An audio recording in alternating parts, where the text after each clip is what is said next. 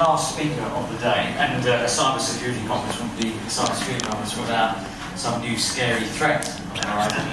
John Davies here, It's the, uh, the conference uh, back here to provide this uh, presentation. John is uh, director of Pervade Software, a company recently been recognised as one of the most innovative cyber security companies in the UK by Tech UK and Info Security Magazine. Uh, you're having cut his teeth in the communications industry uh, with companies like MCI, WorldCom and Cable Wireless. He spent most of his 25 years in the IT security industry, worked for giants such as Gartner Group, as well as venture capitalist backed startups. John, to the stage. So, it's the hardcore. It's the people that have stayed right to the end as, uh, by the way, uh, just in terms of people in the audience, who's got a hard stop here? Who's getting a train at about four o'clock? Yeah, okay, so if you're going to have to say, I won't be offended. When it gets to the really exciting bits, which is the last three slides, you know, so the other thing I can do, um, I, have got in small print at the bottom here that we were one of the most innovative cybersecurity companies. This was in a competition that was run. I'm going to leave you, actually, to decide whether this is true or not by the time I get to the, to the end slide. I've only actually got 48 slides, so, uh, so we should be in good shape. Okay, here's, um, here's the agenda in terms of what we're going to do. Am I to the right button? The right hand button. The right hand button. Oh, yeah.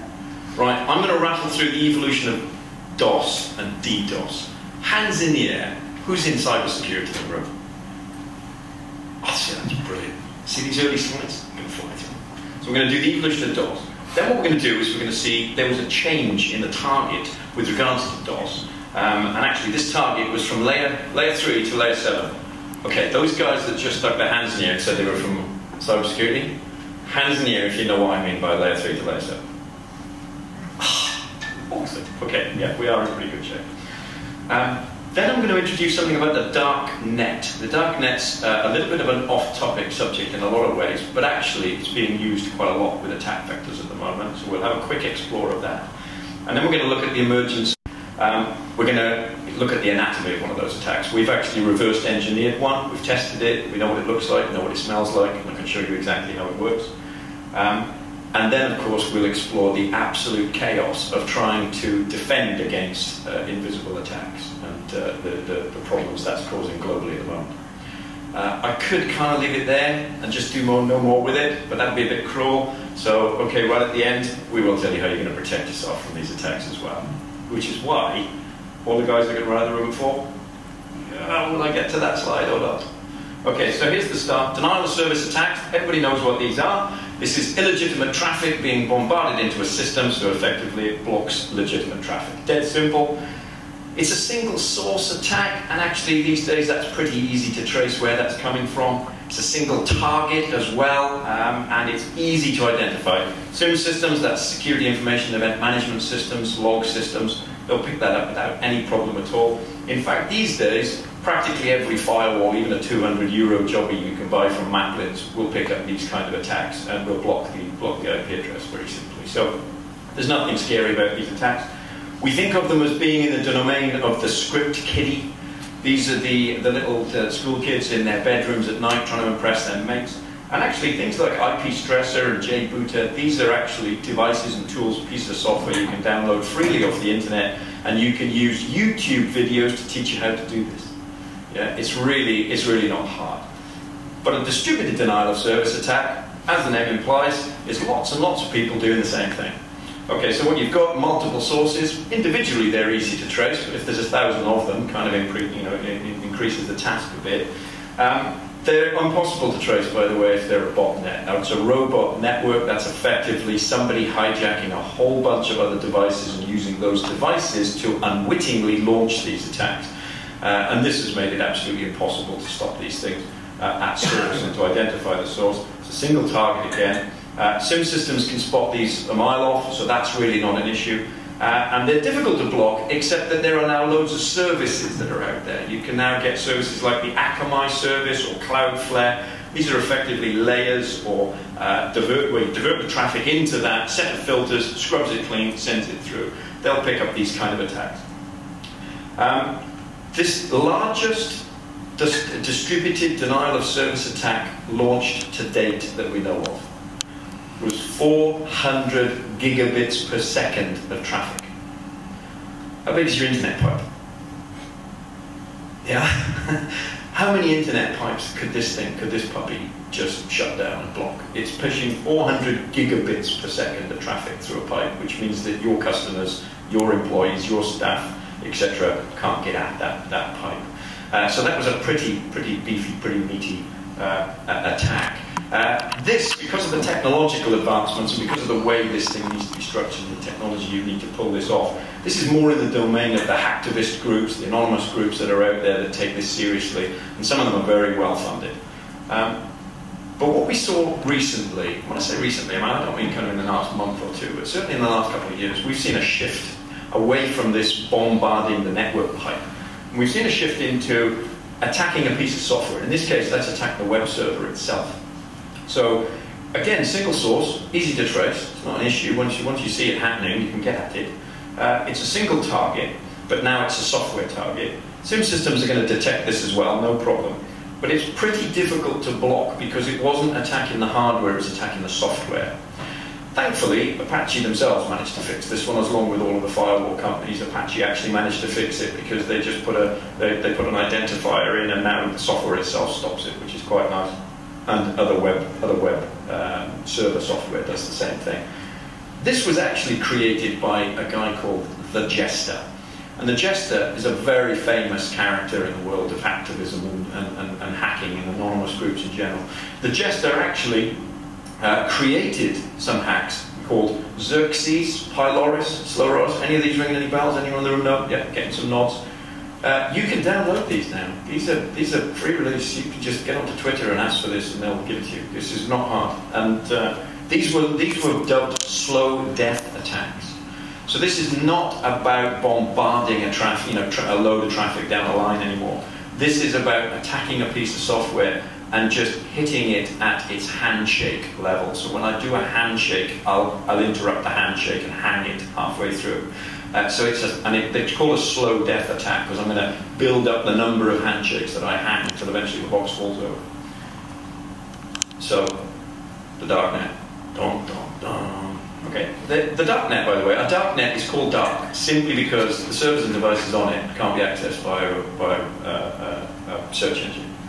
So there's lots of darknets. There's not just one. There's a, there's a whole bunch of little darknets out there. Um, the, probably the most popular one is the Tor network. It's called the Onion Router Network, which ironically was built by the American military. we love it when that happens.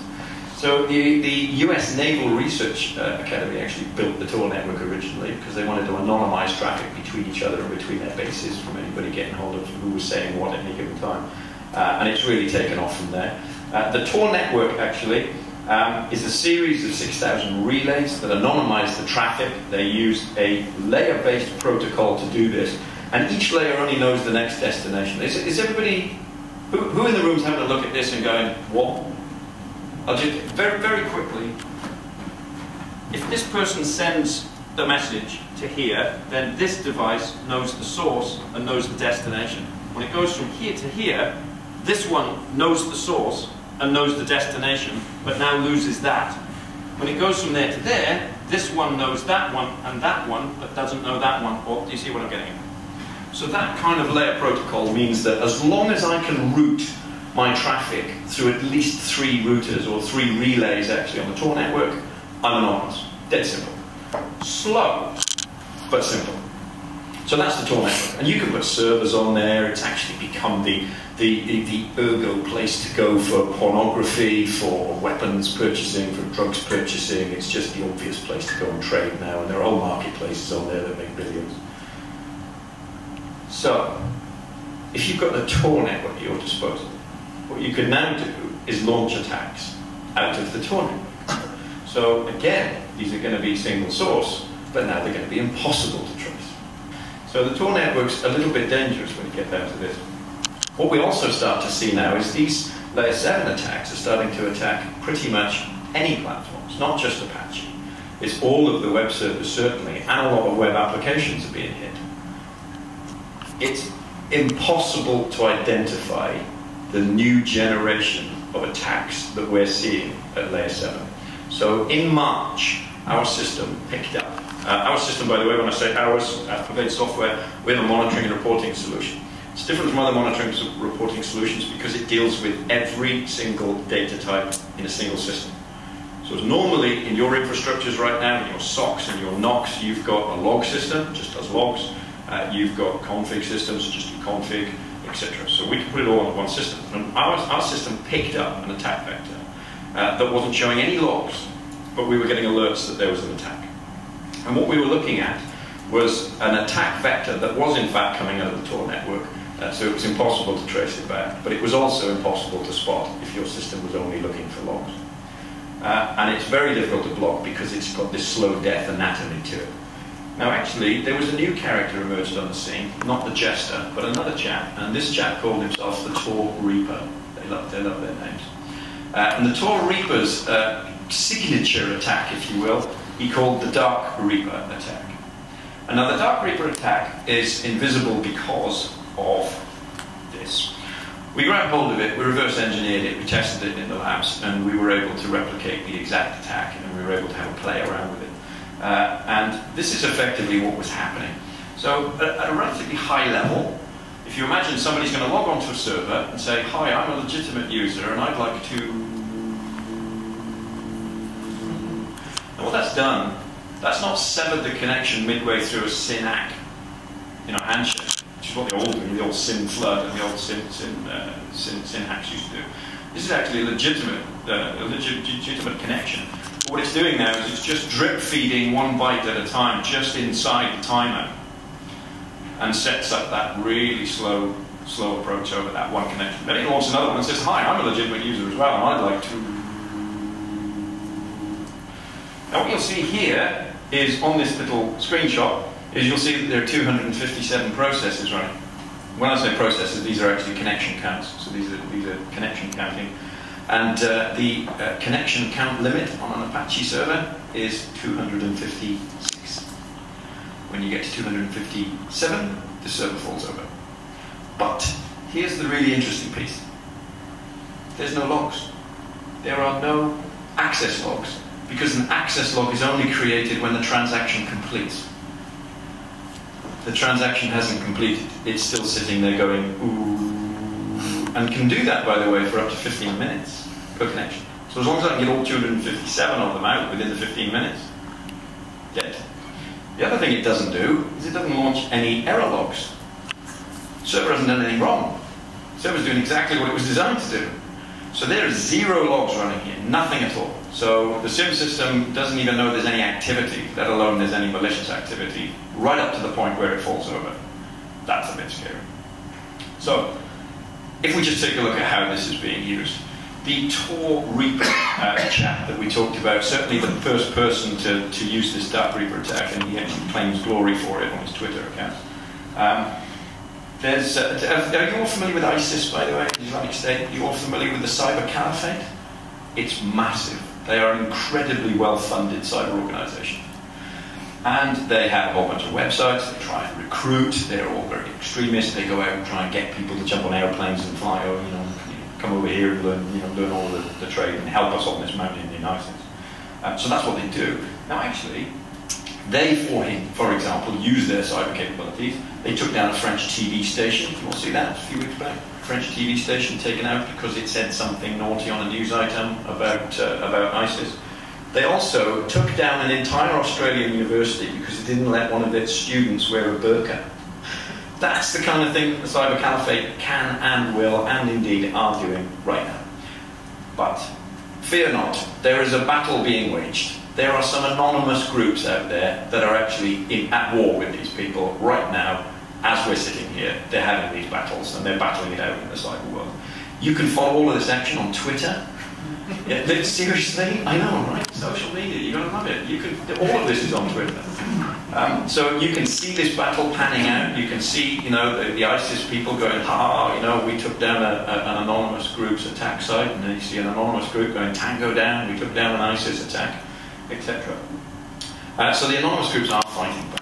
Uh, and this is where we've seen this Dark Reaper emerge, actually. We saw it, we saw it as a spin-off of one of these attacks. This is a screen grab of one of the tools that, this, that a particular anonymous group, the group that we're talking about here is called GhostSec. And the GhostSec group, which is at war with Psychotic, they basically have a set of tools that they use on their systems. And this is a screen grab of one of those tools. So you can see here, this is Tor DOS, that's that Dark Reaper attack. Uh, you can see the website that it's shooting for here. And you can see that it's, can you see processes at the bottom there, 1,000 processes? So they ran a thousand processes and took down this, uh, this particular website, which was an ISIS website. So that's a, that's a website. Tango down is their favourite phrase. They love that one. You always see Tango down on their, uh, on their Twitter feeds. So there's one, there's another one. Uh, they're getting better at it here, by the way. You can see this one's gone down with only 500 processes. Uh, this one, this is beautiful. This particular web hosting piece here, this Py, Pyradler, whatever the rest of that address is, that's the actual hosting site that hosts the Cyber Caliphate website. So this is their front web. This is their front door website saying, "Yeah, come on a plane, come over to you know, come over to Pakistan or wherever they, you know wherever their camps are." They took down the actual website itself. It was a bit cheeky. Just have a look at the processes. They took down a website that theoretically is protected by millions of dollars of funding from the from ISIS, and they took it down with 270 processes. We said I have 270 processes. I use a MacBook Air for my day job and it does 4,000 processes at once. You can do 270 processes twice over with an Android mobile phone. That's really scary. These attacks are taking place via the Tor network. You'll never see them coming. And an Android mobile phone can take down two websites without breaking a sweat. You could probably still make a phone call over it. So it's a little, yeah, a little bit worrying. But here's where we're seeing this going. Because this is okay, right? This is, this is anonymous groups. They're, they're, having a battle with ISIS. This is, this is white hat, black hat. This is good guys, bad guys. You know, who, who cares? You know, let them carry on. There, there are other uh, white hat, black hat uh, campaigns that run, by the way. We saw on Twitter once, there was an anonymous campaign, ran for quite a while, against Denmark. Because, did you know animal porn is not illegal in Denmark? Seriously. Uh, in fact, there are animal brothels in Denmark. Um, so they were attacking all of these sites, and there was a number of anonymous groups that were, that were going overboard on this. They hated that idea. And in the end, they stopped attacking the animal porn and actually attacked the government, the Denmark government themselves, and said, well, then you've got to legislate, because until you legislate, we're not going to stop attacking you. And they did about four months ago. It's now illegal in Denmark. So yeah, a round of applause for the good guys. But are they good guys? You know, just because they're taking down animal porn sites, just because they're taking down, you know, ISIS sites, does that make them the good guys? Here we've got a great example. This was four weeks ago. This is Tor Reaper. Remember the guy who invented the Dark Reaper? And he's sitting there saying, the UK hosting company, UK2, is hosting an ISIS site, and we think they should, you know, they should remove it. So why don't we attack them? And the next thing we saw was an attack appearing with Tango down, and sure enough, when you navigate to the UK2 site, it's offline. That's an entire hosting company hosting thousands of UK websites that are legitimate and could easily have been business critical, if not life critical websites. Even worse, half an hour later, he's back on saying, oh no, no, hang on, my mistake. Yeah, they, yeah, they are helping us. Yeah, yeah, yeah. Stop attacking them. Let them back up. So actually, not only is this somebody using this horrible weapon against an entire hosting site indiscriminately, he's also making a mistake. But here's the, here's the most interesting bit. Stop attacking it, please. He invented this hack.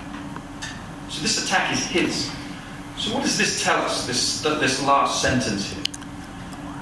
He's given it to other people. Now, that's basically Pandora's box. Once you give your super attack to someone else, you lose all control over what that person, those people, use that for. And that's dangerous. Now we're going to start to see where else are these things, these attacks going to be launched from. There's another um, hacktivist Don't know if any of familiar with him. A guy called Vikingdom. Vikingdom basically declared war on the United States of America. Bless his cotton socks. You know, and, and you've got to believe he lives there, right? Because only somebody that lives there is going to do that. He actually said, this is back in March, he actually threatened the United States as a whole. It was like the mouse that roared film. Did you all see that Peter Sellers film? He attacked the entire United States. He said, I'm going to launch distributed denial of service attacks, and I'm going to bring down the American government, and I'm going to launch 1.8 terabytes per second. 1.8. Now, let's go back to the early slide. What's the biggest of service attack that we've ever seen? 400 gig. So how do we rate this guy's chances of launching something that's four and a half times bigger than that? And actually, after this warning and everything, we didn't, we didn't see a big denial service attack of 1.8 terabytes. So nobody took him very seriously until he did this. He took down the Bangor, Maine American government site. He also took down the TV station that reported on it and said that he was a bit of a bad egg for taking it down. so he took them down as well. And he took down the Visit Bangor main site because that was up and it was hosted on a different server and he didn't realise, so he took that down as well. He took this down using the Dark Reaper attack and he took all three of these down within a 15 minute lifespan literally. They were, they were just down. And he could keep them down, you know, until they could resolve the issue. Every time they brought the server back up, he took it down again. A while later, took down Connecticut. So that's the Connecticut Gov site. Others would drop in like flies. Then he hit the jackpot, took down the New York. So he's obviously jumping up and down, celebrating, etc. So far to date, he's taken down 39 out of the 50 state government websites, and he's still on the rampage. This is taking place as we speak right now. Now, this is just one user. We did a presentation very similar to this one at the Security and Policing uh, Expo in, uh, anybody go to that? Security and Policing Expo, law enforcement agencies, 75 countries, run in Farnborough. Um, yep, a few, few nods ahead. We were there. you See those Land Rovers and Range Rovers with bunk-proof glass? Really cool. Um, we did this presentation there and, and launched this, and three people came up to us afterwards from European countries, from the Ministry of Defence of one of those European countries, and a couple of other governments, and they came over and said, this particular Ministry of Defence, CISO, said, I nearly didn't come this week because we're under attack and all of our front-facing servers are being hit. They've been hit for about five days now. We don't know what, what on earth is hitting them, and I nearly didn't come because, you know, it's causing havoc. He said, but I booked my ticket, so I came in the end. I'm glad I did, because this is what's hitting. And, you know, that kind of attack taking place, those are government sites. Those are not just government websites. Those are front-facing websites for government departments that are going all over the place. We've seen this being used on TV stations. We've seen this being used on corporates. So large corporates are getting hit by this if they are suspected of fueling or passing money in any way, shape or form or any kind of support to ISIS they'll, they could get hit with this kind of stuff. And we're seeing more and more of it. So it's happening right now. Um, so how do you protect yourself? You guys haven't left yet. You know your train is really, you're very nearly going to miss your train. But this is the good stuff. Okay, so basically how to protect yourself. There you go. Basically what we've got here is a resource count. It's a connection count. So we're hitting a server, right? We're hitting a piece of software or software app. What we're going to do is count the connection counts. If you see the connection counts, you see them here in the space of one minute, it's gone from 126 connections to 181 connections, you should probably restart the server. It's that easy. Seriously. And in fact, if you've got the right monitoring system in place, you could probably set that up automatically to say, if this connection count goes over 200, restart please. But I know, right? That's a bit of a letdown. I think you were you hoping for something really, really groundbreaking there as a kind of protection mechanism. But here's the question. Which monitoring system does this? Think about your own infrastructure for a second. Think about your own monitoring systems that you've managed to get some budget from the finance director to, to deploy. Which monitoring systems monitor connection counts or resource limits? Good, huh? Here's a bunch of uh, monitoring systems that you might have. So we've got log systems, uh, gathering logs, doing analysis on logs. If they've got clever correlations as a log system, they call it SIEM system. Still using logs. Um, we've got configuration auditing files. You know, these are things like uh, tripwire. So you've got your ArcSight, you've got your LogRhythms, LogLogic, your ArcSights, your NVisions, your tripwire systems, etc. You've got your performance monitoring systems like your SolarWinds, or your cheap ones like PRTG, or even your freebies like Nagios. Uh, and you've got availability specific monitoring systems that might be going in an application level. So, there's the clue. Where are the monitoring systems that do connection counts? Answer, not in the right place. You see the SIEM system and the config system and all of the sexy stuff that's based on your security operations center. You know, they're all the expensive ones as well, by the way. You know, you know, you you pay for a SIEM, SIEM system? You can easily spend a million pounds on a SIEM system. A lot of money, you know, and a lot of time and effort and resource. If you start taking into the into account the salaries of the people who need to actually feed and water this beast, a lot of money on SIEM systems and they're in the SOC, they're in the Security Operations Center. This is where your guys are, are specifically trained. They've done that horrible certification, you CISSP, that takes about four years of your life and a six-hour exam and turns your hair grey. You know, they've done all of that. They cost a fortune. CISSPs get paid 100 grand, right? Any CISSPs around? You get paid 100 grand? Of course. Yeah. And the reason for that is because you've got to be able to manage all four or five of these big systems, and they're a right pain, and you've got to do all that correlation. So this is all in the in the Security Operations Center, which is great, except these systems are not there. These are in your NOC. This is the network operation. This is the help desk. These are the guys that just pick up the phone when somebody's Microsoft password doesn't work anymore and say, have you restarted the box? That, that's where these are sitting. That's where SolarWinds sits. So what you've got is highly trained security professionals whose sole purpose in life, when they're not eating toast, is to look for attacks, spot spurious activities, using millions of pounds worth of monitoring systems to do it.